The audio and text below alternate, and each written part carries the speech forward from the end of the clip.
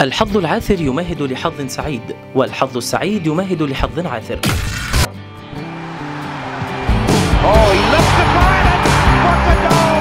هكذا كان حال منتخب رومانيا في مونديال عام 1998 ابتكر المنتخب الروماني أول سلاح جديد من نوعه في المستطيل الأخضر بعدما نجح في تحقيق مفاجأة حقيقية في دور المجموعات فازت رومانيا على كولومبيا وانجلترا وتعادلت مع تونس لتتأهل لدور الستة عشر.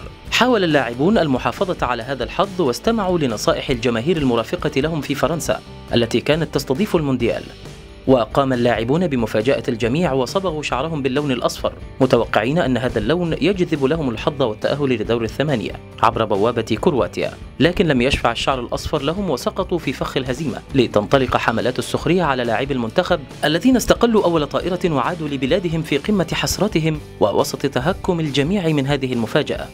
لم يتعلم الرومان من غلطتهم في المونديال فكرروا نفس الفعلة في كأس الأمم الأوروبية عام 2000 وأقاموا بحلاقة شعرهم نهائيا لكنهم فشلوا أيضا في الحصول على اللقب.